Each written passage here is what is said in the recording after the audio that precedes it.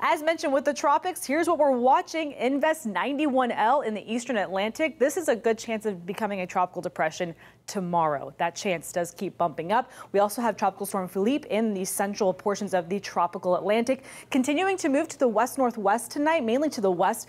It is going to weaken as it approaches near or just north of Puerto Rico. It's interacting a lot of wind shear throughout the weekend ahead, so that will help it to stay a weaker system as it falls apart.